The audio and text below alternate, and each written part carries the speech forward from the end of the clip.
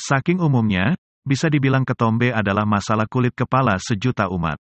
Baik pria atau wanita, tua maupun muda, bisa mengalami masalah ini. Meski termasuk masalah umum, munculnya ketombe yang membandel kerap mengganggu kenyamanan dan menurunkan rasa percaya diri.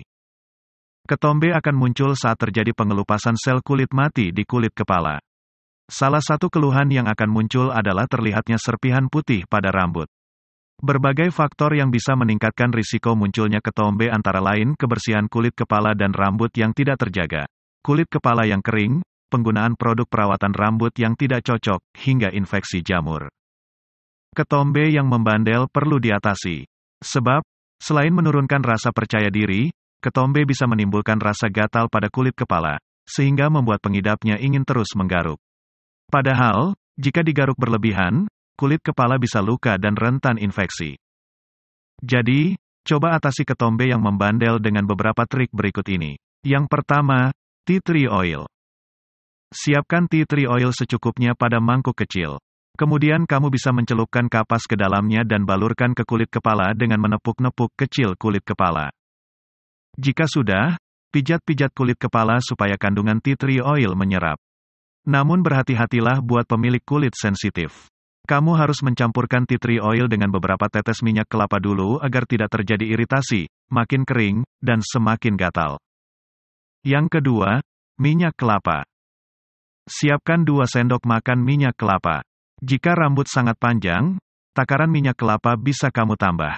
Dengan bantuan jari tangan, Usapkan minyak kelapa pada akar hingga ujung rambut. Pijat-pijat selama 5 menit dan akhiri dengan menutup kepala menggunakan shower cap. Biarkan semalaman dan keramaslah seperti biasanya di keesokan hari. Jangan lupa lakukan secara teratur hingga ketombemu hilang dan pastikan minyak kelapa organik saja yang dipakai. Yang ketiga, lidah buaya. Persiapkan lidah buaya dengan ukuran sesuai rambutmu. Untuk yang rambut pendek, pakailah yang ukuran sedang. Dan untuk yang berambut panjang, bisa menggunakan ukuran yang lebih besar. Setelah kulitnya dikupas, ambil gelnya. Oleskan gel pada rambut serta kulit kepala. Pijat pelan-pelan dan diamkan selama 45 menit. Kemudian bilas air dingin tanpa sampo. Ketombe dan jamur akan menghilang karenanya. Yang keempat, cuka apel. Ada dua cara menggunakan cuka sari apel untuk menghilangkan ketombe. Pertama, Tambahkan beberapa sendok makan cuka ke dalam sampo dan gunakan untuk keramas. Kedua, campurkan dengan essential oil yang kamu miliki dalam botol semprot. Lantas, semprotkan campurannya ke rambutmu. Selain menghambat pertumbuhan jamur, cuka apel juga menghilangkan sel kulit mati dan menjaga pH kulit kepala. Yang kelima, aspirin.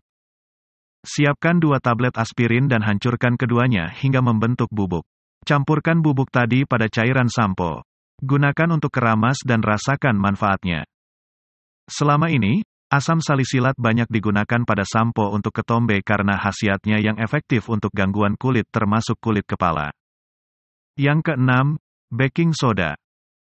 Baking soda dipercaya sebagai pengelupas kulit yang cukup lembut mengangkat sel kulit mati. Ia juga mampu mengurangi gatal karena sifat anti jamurnya. Kamu bisa membubuhkan baking soda secukupnya di rambut basah. Kemudian pijat dan biarkan 2 menit. Jika sudah, lanjutkan dengan berkeramas menggunakan sampo. Yang terakhir, kurangi tingkat stres. Stres sebenarnya tidak berpengaruh langsung terhadap ketombe. Tapi stres dapat memperburuk gejala kering dan gatal-gatal di kulit kepala. Terlalu stres dalam jangka panjang juga mempengaruhi sistem imun. Imun yang melemah bisa membuat tubuh kurang mampu melawan infeksi jamur dan kondisi kulit yang berdampak pada ketombe.